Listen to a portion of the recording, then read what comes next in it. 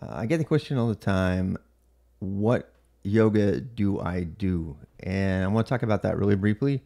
So, I do, I'm an old guy and I believe in modifying in order to get something that's healthy for you. So, I do Ashtanga.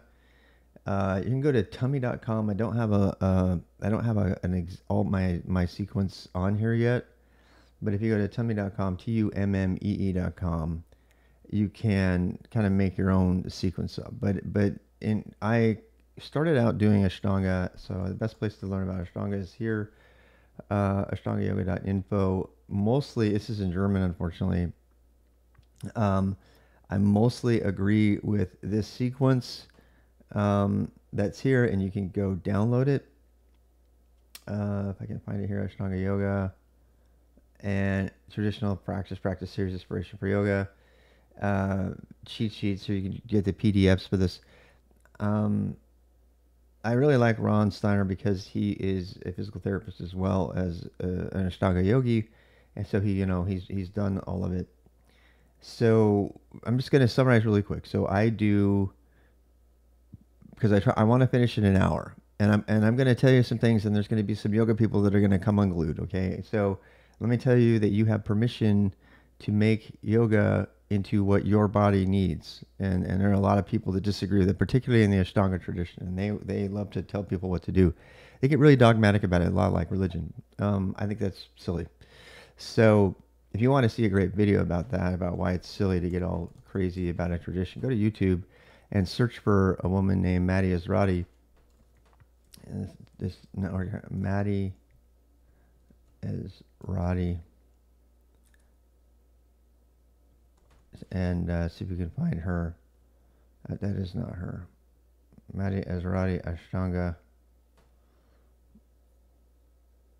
I don't know if Ezra oh, Ezraty Yoga. Maty Ezraty Yoga. Uh, and you go listen to her talk. This is it. This is a video. Maty Ezraty on Ashtanga Yoga. She's talking about it. She's my favorite Ashtangi.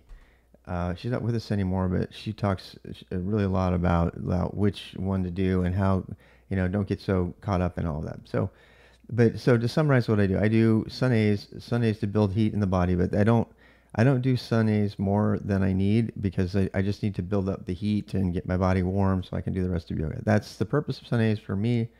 Um, my wife does sometimes she'll do 25 or 50 sun A's as kind of a workout and that's fine. If you can't do anything with just sun A's and then do the finishing sequence and jump to the to the end, um, you've done yoga for the day, right? And um, a lot of people will struggle with sun A's, especially if you're larger, which I was. I lost a lot of weight. Uh, I did a lot of cycling to lose weight. I started to do yoga and then I gave it up because I was I wanted to do you know the yoga that I had been doing every day and I couldn't because it was too heavy and I mean it was like destroying my my my wrists and a bunch of things because I again I was just really really heavy. So doing just sun A's to lower your weight or to to get you know the benefit from that that might be enough. Um, you know, but but put together your own sequence. Uh, the only thing you really need to know is make sure you have a counter pose for every single pose you do. So like if you do a fold over, make sure you counter with something that folds your back um, and and you know inter, intermix them. If you, another thing you can do is you can intermix poses that make you breathe really heavy with poses that are relaxing, and um, that's like some of the the main guidance there. Uh, other than that, because I've been influenced by the Ashtanga tradition, uh, I've been doing these poses for years since 2010. Uh, I've been doing these poses. Um, and you know it comes and goes. My flexibility comes and goes over time when I don't do it. Uh, but I really like the nature of Ashtanga because it's it's very do this thing and then do this thing and don't focus on the form. Don't hurt yourself, but but work more on focusing your mind and doing it kind of like Tai Chi, but that makes you breathe heavier, right? Because it's more it's better workout. That's my take on it. That's why I like it. It is a workout. It does it does really tire me uh, so so much so I had to give up cycling at the end of the day because it's just too. After after 60 minutes for me, I'm 57, and after 60 minutes of doing Ashtanga yoga with the jump throughs, which are basically a push up, um, then a burpee push up, then I you know I don't have anything left. So um, at least for now, I've had to give up cycling at the end of the day. Maybe you know, maybe my fitness will continue to improve, and I can eventually do some cycling at the end of the day. This, these, these, this, I've done cycling on the on the weekend. Uh, scheduled it for the weekend beginning of November. Beginning of November, I'll start doing outdoor cycling again. Um, but for now, I need to finish moving, and I need that energy. So, so the fundamental position. So you have Sun A, uh, and I'm not going to demonstrate. I'm just talking about it. If you actually want to see me doing yoga, the only way to do that is to come on Twitch because I play music that's copyrighted in DJ mode, which is totally valid and legal. And um, so it, you know, those the videos go away. So you'd have to come join me on Twitch for that in the morning at 9 a.m. Um, but if you want to do that, then you can come see me do these sequences and maybe kind of learn a little bit about them while you're watching. I'm not going to act out every every single one of those poses. Um, then I do the fundamental positions, uh, which are uh, let's see if I can zoom in on this a little bit. Um, let's go up to 100% at least. 110%. Um, I wish it would go bigger. I wish it would go way bigger. Oh, if I did this, what does this do? I might probably have to just download it. So anyway, you do you fold over. So the the S stands for Samasthiti. That's because you're standing up up straight. This tells you just to just to break this down for you. So this these are all the Sanskrit names. Uh, one of the reasons I showed you this other site is because it does have the English and the Sanskrit names, so you can decide if you want to do that or not. Uh, I don't actually don't know the the uh, English names for some of them. This is Padangusthasana, Padahastasana. So this one, this one is to you know stretch your back out, and hamstrings. Don't overdo it. Obviously, it tells you where to look. That's what the nose is about. It tells you your inhale, out, exhale. Almost every one of these poses ends with five breaths, uh, regular breaths, not not um, not uh, um, ujjayi. A lot of people confuse that. A lot of people do ujjayi breathing. They think that's what yoga is. It's not. Yoga doesn't. Yoga uh, ujjayi breathing is a part of pratyahara. Uh, pratyahara, sorry that is you know breathing exercises which are part of yoga but the but the the implication that that that that ujjayi breathing is what's happening in, in ashtanga is totally wrong. People say that all the time uh, ujjayi is deep long breaths and that kind of sound like darth vader while you're doing them. And even though the breathing between these poses is deep and you know sometimes it's guttural and everything you it's usually faster than a Ujjayi breathing. And if you if you go into this thinking I'm going to do all these really hard work and I'm not I'm going to breathe like Ujjayi really long slow breaths, that's wrong because you you need to breathe more frequently than that. By the way, if you do start needing to breathe like more than the breathing calls for in Ashtanga, um, it usually means you're pushing too hard and you need to take a break. And that's actually a good thing physically for you too because that'll put you back in zone two as opposed to pushing in, you know, up into tempo and, and other, you know, higher rates uh, for working out. Now, you can do, and I have done, you can do Ashtanga in kind of fast mode and make it sort of this, you know, really intense workout as long as you don't, you know, overly stretch or break anything. And I've done that too, and there's nothing wrong with that. So sometimes I just feel like getting a really good workout, so I will push the pace on it. Uh, I'll still breathe, but I'll just make the breathing much faster. Sometimes I feel like, like when I'm really hurting, sometimes I'll feel like holding a pose for 20 seconds instead of five breaths, which is the minimum you need to actually have a stretch effect effectively take hold on, on in your muscles. This is, we had to learn that for training. So Ashtanga has you only doing the poses for five breaths, and that alone is not going to it will over time make small changes to your body but if you like want to open your hamstrings or you're be able to do you know full lotus or something you, you that's not going to be enough. You're, you're going to have to have some of those poses be extended for a certain amount of time. I'm going to show you one thing that i do way more than about two minutes every time i do this because of, in my back i roll out my back because i'm a, a coder and a cyclist. And we'll talk about that. So this is there's a triangle pose um, you can modify all these. Uh, my favorite book to get on this is David Swenson's book. Uh, this is if I was going to recommend you buy anything, uh, this is the one I would recommend you get. Um, AshtangaYoga.net. He does some videos for free. Um, the book I have, the tattered book I have on the ground over here, where is it? Right there. That is my Ashtanga Yoga Manual. And the reason I think it's the most important book for any beginner to get is because it actually has all the modifications in it. And you can flip the pages and it tells you in excruciating detail what to do. Um, if you're going to go with the Ashtanga tradition, I recommend that because that, that will go into actually what you do for every pose. Uh, there's another couple books out there, but that's the one that, that I like the most. Um, and then when we go back to where do you go? So uh, if we go back to this, where was I? Come on, Rob.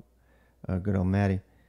So, so you know, you, you do the bending over. Um, this is the depth down. Now, a lot of these I, I modify them all because I can't. This this particular sequence right here, where you're touching the ground, uh, if you don't have the flexibility to touch the ground, it's a totally different exercise because it actually activates your hamstrings because it uses them, and it's a different exercise completely. Hey, Bone. So just so you know, um, some of the modifications are going to work your body out in different ways. Or actually, some of them will actually tighten the muscles you're, you're working to stretch or, or to, to flex it, to open up. And if you do this particular pose, uh, and you can't touch the ground, you are doing a totally different thing. But I'm okay with that. So, um, so here it goes. There's the 33 right there. Uh, and then this is a vinyasa. So basically, your samasthiti, he. you bend over, you look up, you jump back, or put your foot back, and then you you your toes under, you roll up, you go down, you go, you do another burp. You can hold it right there, and you know flexible, uh, you know, like straighten the back as much as you can. Go up and then go back down, and then and then you can jump through uh, your feet. So that's how you go all the way up, right? Uh, if you want to go back up to standing, but you can also do this sequence, and you go to right here, and then you uh, you either jump your feet through your arms back to sitting or staff pose, and then you start the next one. So that's that's what they call a vinyasa, which means flow uh, between the different poses. So again, this video is designed to be a summary. You can stop it and, in anytime you want. Uh, people ask questions about why I do this type of yoga. So the other main sequence to know is the finishing sequence. This is at the very end. Um, and then there's there's kind of a sandwich in the middle, and that's primary, and we'll talk about that. Uh, it opens the heart and so forth. It does. Um, so uh, doing doing a vinyasa like that, as you can tell, tell when you're doing up dog, it it does. It opens up your heart it flexes, you know, it, opens your back and your muscles. It's also an inversion, so it gets blood flow to your brain, you know, and it kind of. So, so just doing that's what I said. Just doing sun A's. That the vinyasa right there is a sun A, right? It's a sun A, and you basically do a sun A between all the poses, whether you land in standing or sitting. Same thing, right? It's a sun A, which is why if you're just doing sun A's, uh, you get a good workout and it'd be really great. Um, so this here is this is the finishing sequence, and I need to talk about this. Um, first of all, uh, Ron Steiner has added more to the finishing sequence than than is actually in the finishing sequence. He's made some adaptations to Ashtanga. Tends, people tend to do that. Um, the finishing sequence actually starts uh, with uh, a backbend, and he doesn't have backbend in his. Um, and you know he's got all of this other stuff here. So again, this is just a video commenting on what I've done in my yoga. Uh, I do this. I I do. I I've just recently I've eliminated uh, these poses because they're horrible, horrible, horrible on my neck, and uh, I can't risk it. I have a really bad neck. My neck has gotten messed up over because of years of of, of athletics and and different things and and computer work and all kinds of reasons. I have a, a very sharp uh, spine. When it hits it hits my shoulder, and, and, a big part of yoga is understanding your body and then adapting yoga for your body. Uh, this is where having an actual certified yoga person or um, you know a, a, physical therapist or something get involved with what you're going to do is to help you uh, adjust your body. You really need to be be careful, with particularly with back things. Um, and you know people get injured in yoga all the time because they think they are supposed to do the exact pose so my i have a very sharp inward curve on my you know everybody's got the curve in their neck like this but mine is really sharp and and i'm actually looking to do some head traction um, uh, in order to to work on that. I, I can't recommend it to anybody. I would make sure you get you know don't I don't know about a chiropractor, but you know licensed physical therapist. If you're going to start to do that kind of thing, um, but the yoga I've been doing has been making me really aware of that part. And when you get up my age, you know you got to be aware of all that stuff. So um, head traction is they, they have a thing that you can put on your head, and you you basically just you know put your head in a vice or in in a, a, a strap, and then you let the weight of your body pull down on your neck and straighten your neck and open up the columns between your uh, uh, between your neck to kind of straighten your neck out. Uh, obviously, super dangerous. You don't want everybody to do it. I'm not recommending you do it, but I'm telling you mostly here the reason I don't do these poses anymore. Uh, some of you have been watching me do yoga. You've seen me do them. Uh, everything that is covered by these poses, I believe, is covered elsewhere better. Uh, and Iyengar would agree, right? So, um, this is an inversion, which you can do with handstand, which I do, which is this is very safe. This is actually one of the most safest inversions you can ever do uh, if you learn how to do it. We'll talk about that in a second. So this, all of this stuff is designed, I guess, to open up your. You see how sharply um, the turn is on the head, though. That's the real dangerous part. And yeah, it's an inversion, and yes, it's it squishes your organs and gets it all set up. Uh, and it's got you know it's got a lotus in there and I can actually do lotus here better when I'm inverted than I can when I'm sitting down. But uh, as far as I'm concerned, the only purpose for this uh, physically is to get the inversion, all the reasons for getting an inversion, and to open up your hamstrings. Um, and both of those things can be done. Both of those things can easily be done more safely with other poses. In fact, these any of these poses like this are not included in any yoga tradition whatsoever uh, outside of Ashtanga. So uh, I don't I don't do them. I've eliminated them, and that saved me a lot of time actually. Um, however, I do make sure to do this. So this is a Shirshasana. This is called shoulder stand, and I want to be really careful with this. I've the reason I'm making this video is because people watch me and they see me do headstand, and they call it a handstand or headstand. It's not. The head is only barely touching the mat on this pose. There is another variation on this. Uh, in in it's another version of yoga where they actually do headstands. There's people who literally stand only on their head in yoga. Super dangerous, super stupid. I would never do it. I can't recommend it to anybody. Um, and inversion is super important for your body. You need to get inverted. You need to get that blood flowing the other direction. It's actually really it makes you really high afterwards. But they have you like laying in a crouched position after this for, you know, 5, 10, 15 breaths or something. And then and then you're ready to, you know, to come up for air uh, you know, if, if you do inversions, and by the way, downward dogs are also inversions that are not as intense, so you don't end up with an aneurysm. If you're going to get an aneurysm, it's going to happen while you're doing an inversion like this. So don't don't be stupid. Don't overdo it. Listen to your body. But if you can learn how to do a proper shoulder stand, I think it's one of the best poses you can do um, because it, it does. It literally inverts you. Your your body is absolutely straight.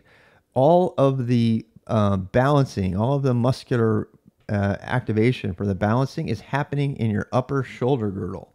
There is no head balancing happening at all.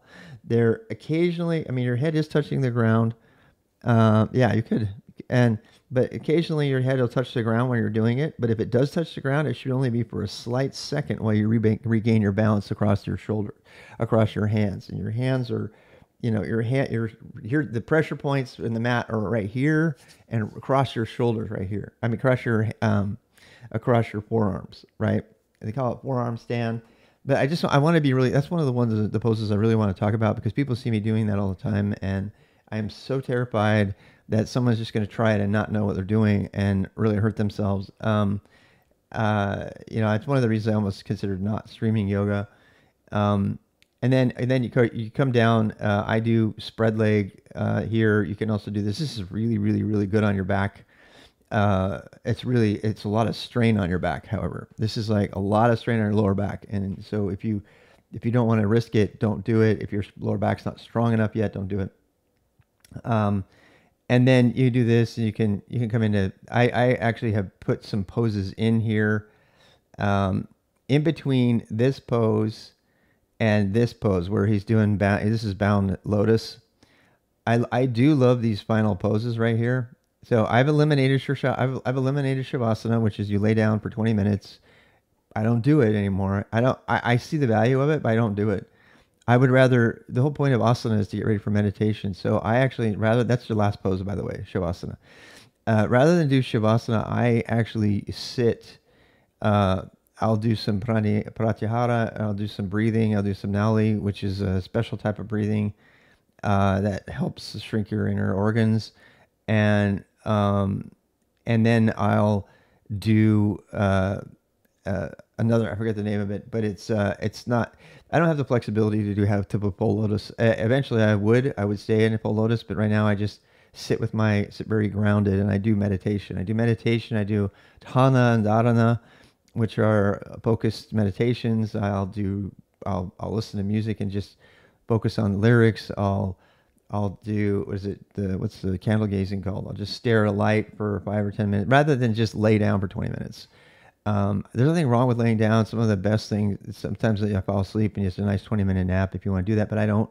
Uh, I'll usually do meditation right here instead. Um, because I don't have that much time. If I ever did uh, uh, uh an Ashtanga practice, all the stuff I've cut out of it, it would still take me almost 90 minutes to do the whole thing. And so I don't do that. But the other thing about the finishing sequence that I have done uh, is to build, and this comes uh, from a book about uh, building building your body to be able to do uh, Baddha which is bound half lotus, full lotus, and most Americans, most Westerners are not able to do full lotus. So what I've done here is I've injected in between here here I do I, I do a side stretch because there's almost no side stretches in yoga, particularly in Ashtanga. There's nothing that works the side body. There's nothing that stretches the side body. There is in, in Baptiste yoga, but there's not in, in Ashtanga. Um, and other than you know the the reaching out stuff from the early uh, sequence, but so I usually will do that, and that's that's what I do to pull out of it. Then I'll I'll do hero pose, which they don't show here. I don't know why they're not showing hero here.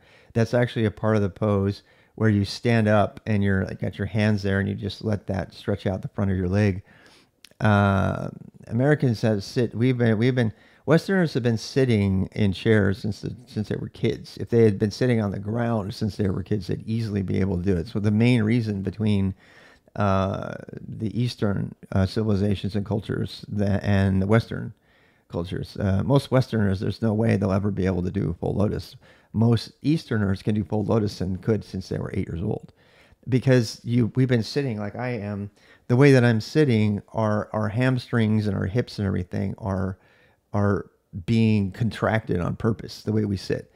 Um, if, if you want to actually open your body up, I see people in gamer chairs all the time, and it just makes me wince in pain. I'm like, how can you sit in that? Um, I suggest if you get a chair like mine, I like mine. This is a very cheap chair. If you get a chair like mine, mine is is is you know it's got ventilation, which is really important if you spend 12 hours in a chair. You know, I did a 12 hour stream the other day, and the second thing is is it's comfortable enough that I can actually sit in half lotus on here, and that this is so much better for your body than sitting in a chair the regular way. Uh, in fact, I could seriously considered in this new office of mine putting all of this stuff on the ground and actually streaming from the ground, streaming and and ha- you know in Lotus the whole time. Uh, when I first started my tech career, uh, when I well after the divorce, I when I was making my, my house up, I, I took my laptop around me everywhere, and I would I would do different yoga poses all over. And since I started streaming, I was super happy to stream from the laptop because I technically I could take my laptop and I could sit in in cobra pose, which is you know on your tummy with you know reverse arching your back instead of hunching over your keyboard and you know you could vary. I've even done legs up the wall, which is you know stand next to sit next to the wall. So be very conscious of your of your ergonomics, but the most important thing is is developing the back strength and the back flexibility. And we're going to talk about this later a little bit. That you you you've got to counter the hunching. If you don't counter the hunching, you will end. You've seen old people with hunches by the time they hit sixty, right? You've seen what happens. Uh, uh, uh, they they lose they lose height. They get these big hunchbacks on going on. And the only way to combat that is to learn how to sit properly, just to straight up maintain your back strength and your, your butt strength, build a booty, my friend used to say. And, and, you know, and to sit like with your, with your, you know uh, your your hips and everything grounded, and that way that'll straighten your back up a little bit, and you'll you'll you'll be now. It's hard to do this actually. It's hard. You can't. It's not relaxing to sit like. That. I mean, it it is, but but it it's firing different muscles. It's firing core muscles down here all the time. You know, people that sit on bouncy balls and stuff. That's that's well and good, but you're still sitting in a seated pose. Um, you know what I'm saying? You're you're still sitting in a seated pose, and the problem with a seated pose is it's it's totally locking your hamstrings up completely. So, um, anyway, so so what I've ins- inserted into here is specific. Uh, I, I, the book about you know full lotus that I read, it, it, shows you all the poses to prepare to be able to sit this way, uh, in a way that's you know healthy and. Uh, and those poses are pigeon, and you'll see me do that. It's what you you're doing downward dog, and then you kick your leg up and you run it through, and then you kind of like you arch up and then you like lay down on sort of your leg while it's there and you can feel the stretch across the back of your ass and and that and then i do and then i do after i do that i do uh, uh, timber log pose which is where you have your legs out in front of you and you kind of put one foot over the knee. Here i'll show you. So timber log is like this. You'd have like here i'll just do one. So timber log like this. So you have one leg like this, right? One leg like this, and then this leg on top. Okay, you see how unflexible I am? See this right here? That, and this, this is gonna open up this part of your leg. And you can just rest like this, and then slowly, no, don't push it, it'll go down, it'll go down, it'll go down, right? And just do it on the other side. I think I think that's one of the most important poses that we tech people could ever do because that that uh, releases your hips, it opens up your hips a lot, and uh, it prepares you to be able to do half lotus and full lotus and stuff like that. Um, Pigeon does the same thing. Uh, so but i i have put those poses here there to open up my hips before i do baddha konasana which is full lotus you know with stuff behind your head. Now you can do that pose and just put timber pose timber log pose there log pose instead. And then you know the bending over. And then there's then i do this pose right here. This is this is full lotus. And then this is the one where you elevate yourself and you you you hold yourself up which is really fun.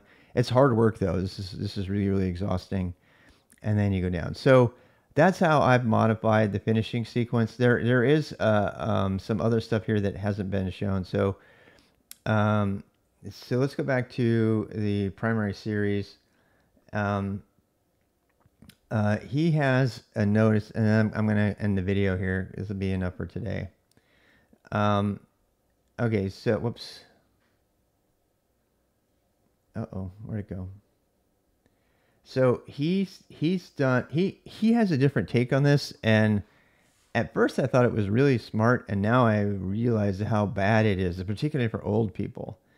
Um, so this pose here, so these these are called the balance poses, right? So these these come at the beginning, after you finish, you know, the the the starting poses you do these. these um, this is these are sometimes called the standing poses, right? Because these all happen before before you go to the ground. And I don't know why he combined these. These are most people who, when they divide up a Ashtanga, they divide it up into the standing poses and then they divide it into the seated poses.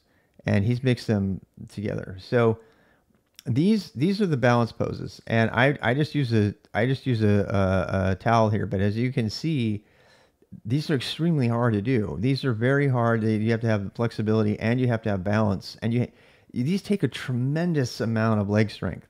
I don't I can't I can't tell you how much leg strength these but the leg strength that they require is the most important leg strength you can ever have. It's balance strength. And one of the things I noticed is that, like, I mean, my skating and paddleboarding and everything when I was doing yoga just got so good because my balance got so good. And then over time, you lose balance. It's one of the main things you lose, especially as you age. And the balance poses, uh, I struggle. I struggle with them. I have to touch the wall sometimes. You have to use that. There's all things that I have to do to mod. But I gotta tell you, since I've been doing this regularly for like two and a half, three weeks now, when I walk, everything I do is just more based, more grounded, more rooted.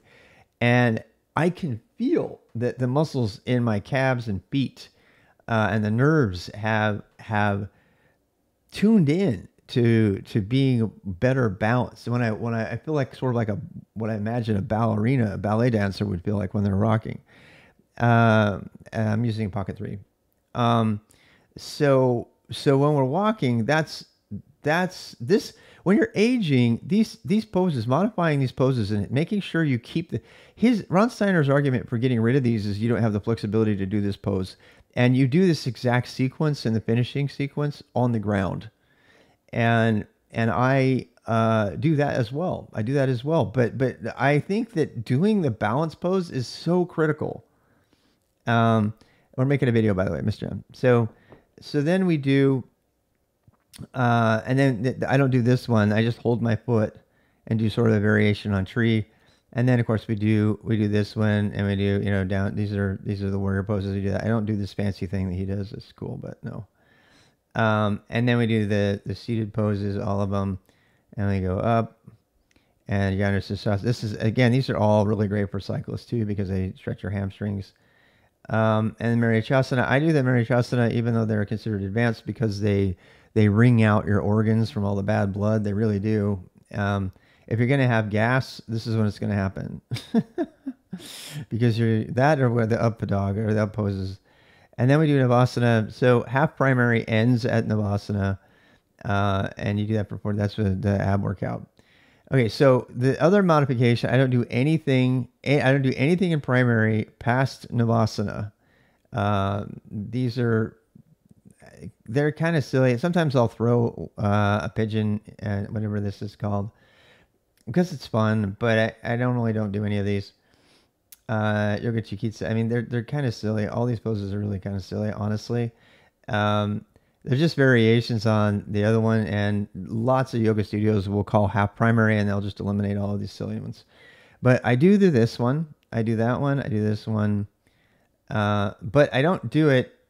Um, right away. So so let me tell you the variation that I've done. This why the hell would you do that?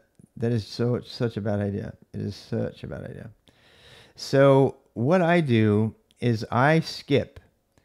I skip from Navasana, which is obviously great. Sometimes I, I used to do 30 sit-ups after that. 30. Uh, be careful you don't do bad sit-ups that hurt you. Do you know cycle sit-ups? I would go from this Navasana, and I'll go all the way to uh, back bend, and I'll jump past all this stuff, and I'll go straight to back bend. But but in the middle of it, and this is the part I want to really emphasize. So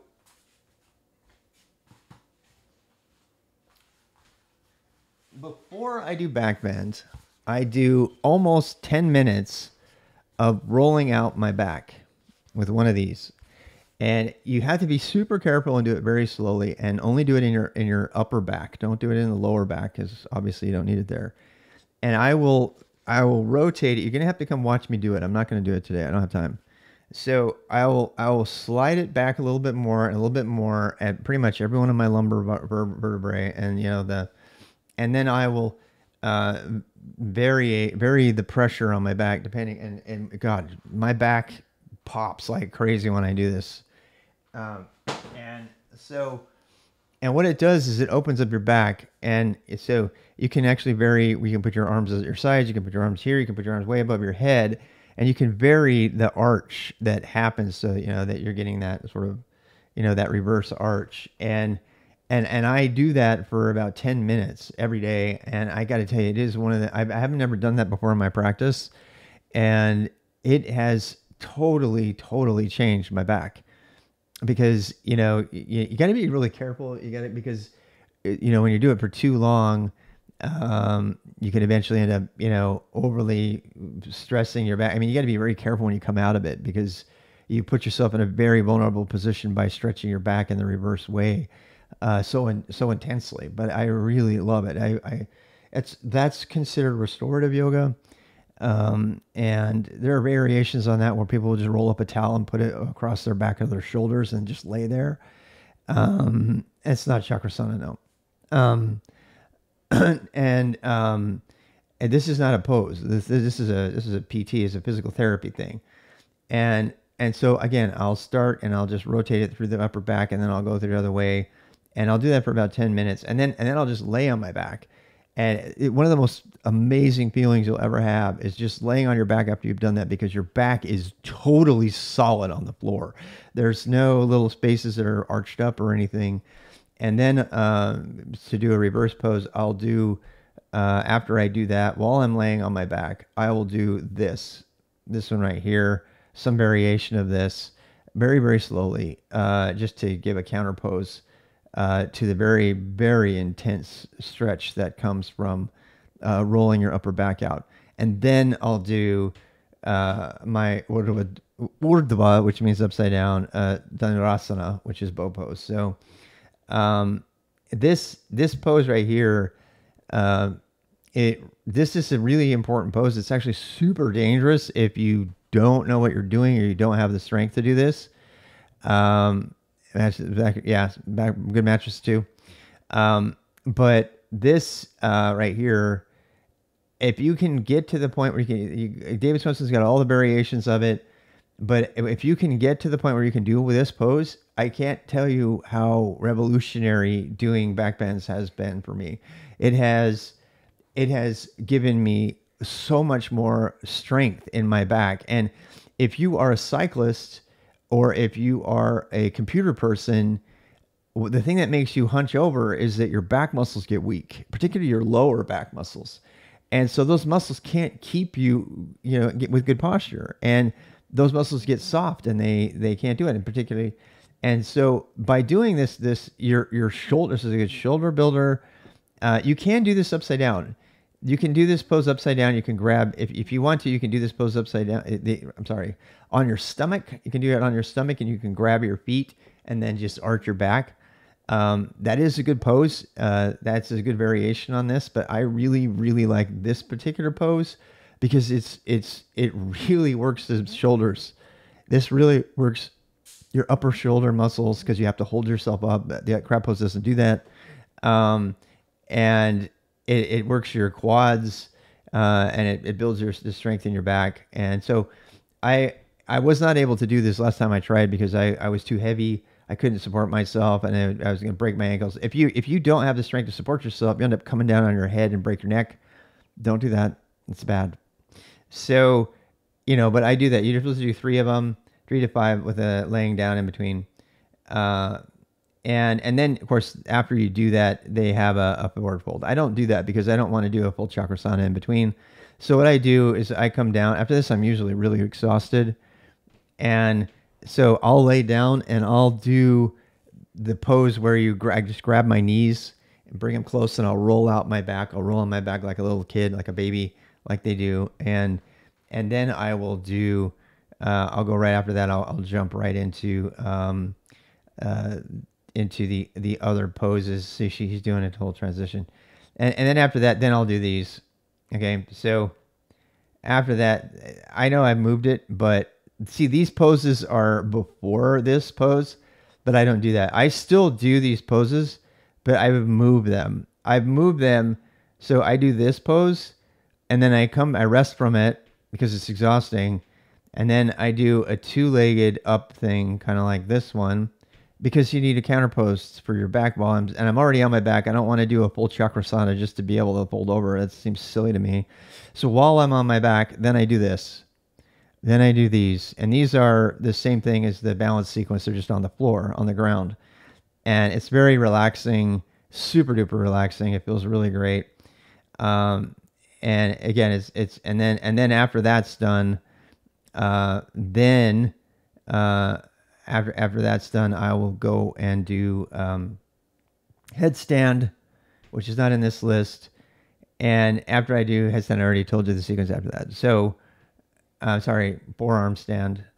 I'll do forearm stand after that. Um, uh, you know, and I, I don't chakrasana because I can't do a true chakrasana, which is also, if you do it wrong, it's really bad on your head and your neck. A chakrasana is basically a backward somersault where your hands are right here, so that when you go, but if you do it right, if you do a chakra chakrasana, most people don't, but if you do a, back, a, a backward somersault, a backward, you know, somersault, um, most people will like tilt their head and go around, and I sometimes do that, but that's actually a, a true chakrasana is like straight back and it you can, you can it catches your head and at that moment where it catches your head you're supposed to push your hands up so that you can go straight up. It's pretty tricky. It's not what people think.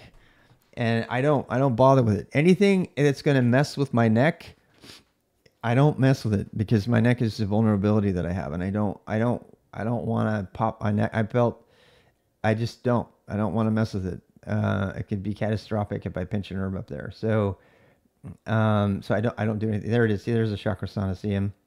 See how how bent over his head is. This is why I don't do chakrasana. Um, and there's really no need to do it. Honestly, it looks cool. That's it. That's really the only reason. Um, and so yeah, so that's that's my sequence. That's uh, there's a lot of questions about that. Uh, this video is actually intended mostly for people, and I will um, probably make a link to this video. This is uh, this video is actually intended mostly for people who've been watching me do yoga and have been asking questions like, why are you doing that sequence? What is going on with that sequence? Uh, as I, as I, the, the summation of it is, is that I've altered a Ashtanga half primary uh, to include uh, a little bit more of primary that include the, the, the laying down balance poses. Uh, and I've added, I've taken away Shavasana and added about 10 to 20 minutes of back rolling which I consider similar to Shavasana, even though it's not at the end. And I, and I do that right before I do my back bend. Uh, I don't do any of the folded neck stuff because I have a weak, I have a problem with my neck and I don't want to mess with it. And that's it. So hopefully, if you want to see that in practice, please come join me. Um, if you want to give yoga a try, you can just do the sun A's with me. Um, some of you may have already noticed I have had a, a couple people comment off, off, off the thing that um, that like, oh my God, who are you? And if you look back at my other videos, uh, a lot of people only know me from those videos, and they don't know me before before I started making uh, you know Twitch videos in 2000 whatever 19 or something. Uh, you know, back in my yoga days, I you know I had I had more of the body that I'm getting back right now, and and it will transform you. I promise you. I promise you, yoga, yoga will transform you. And I, one of the things I really like about yoga is that unlike CrossFit or other things, which I've done, that's actually how I found out about yoga was P90X. Uh, Tony Horton, who created P90X, the entire CrossFit mo- movement is something. He's like 65 now, and he's like a massive yogi. So he's really, really important in the yoga community uh, for the Western world, and he swears by it. Calls it the fountain of youth. Um, and one of the reasons that I like it is because yoga builds the body that I actually want which is healthy, can last a long time, and actually is is bulkier in places that actually provide contour. So, for example, um, your your your your shoulders and your upper chest uh, will get built. You'll get big triceps. You'll get you know, your biceps don't get really huge, um, and you don't usually get a huge back. So you get a you get a you get a strong back. You get a strong back and a strong lower back and but you don't you don't have that like really wide look that that body the gym people get and um but i think the thing i i my wife boy when my wife does yoga she's just got she she, she wears like you know shirtless and tank tops and you should see the development that she has in her in her shoulders and her upper chest it's just so gorgeous and you know she's got those little stripy striations in it and stuff and if you look at if you if you look at people before and after they, you can almost spot a yogi. Uh, it is it's totally good for old age and bedroom time. Yeah, we forgot to talk about that. Yeah, so a lot of those poses we didn't talk about. So I one of them some when I'm doing some of those folder forward folds, I'm like I'm like tightening my mula bandha. Uh, you're gonna have to read about that. I'm not gonna tell you about it. It's basically Kegel exercises for men. It's actually a part of yoga and that's one of the reasons uh, yogis have you know it's it's good for prostate things it's good for sex it's good for all kinds of stuff. Uh, in fact i regularly get uh, really turned on after doing yoga because i'm like you know i'm into i'm not it's like i got a hand down there but i'm massaging my my prostate all the time every time i do a pose because i'm i'm i'm you know clenching and doing kind of a kegel. And i know that's weird to say but if you don't want to be wearing diapers in your 70s, you better be fucking doing that if you're not, you will be. Those are exercises you need to do. You need to keep that region strong, and that's the only way to do it. So, um, yoga is the is is really the key to longevity, um, and and I think uh, happiness and and it also provides a lot of dopamine and endorphins. Uh, the reason I like Ashtanga over Tai Chi uh, is because it does get you heart breathing and pumping, and so I get those wonderful endurance endorphins that I've come to love. You don't get that from Tai Chi. I've done Tai Chi before. It's really nice. It's very flowy. It's very meditative, but it doesn't activate dopamine and endorphins the way that exercise does. And Ashtanga is more exercise than Tai Chi. Therefore, you end up getting you know a healthy dose of of yoga high at the end. And uh, I've come to be addicted to that feeling. Uh, it's the reason I like cycling so much. So this has been a really long video. In fact, it's probably closer to an hour a long video, uh, 45 minute video. But uh, today is the day off. So me talking about yoga uh, is what I'm going to do. I'm going to take the day off. Uh, we take yoga. We take moon days off. The full moon and half full moon and no, new moon and Saturday. And if you're a woman, you take uh, your period days off. Those are called they call moon days for women as well. So this is why I'll occasionally be making a talkie talkie video when it once every Saturday. Um, there's not going to be any rhyme or reason to this these videos, but I do want to want to talk about it, and uh, they will be sort of thematic. Um, I think next time I've already got other videos that talk about the eight limbs of Ashtanga, but we will be doing you know 30 minute to, to an hour long videos every Saturday uh, regarding yoga uh, for old people and cyclists like me, and I'll be talking about it more from my perspective. We will be covering uh, some of the other uh, yam. Uh, one of the things I like to do on my day off of yoga is to is to practice the other um, uh, limbs of Ashtanga, which are which we'll, we'll talk about. But we should we'll probably actually talk about those next Saturday.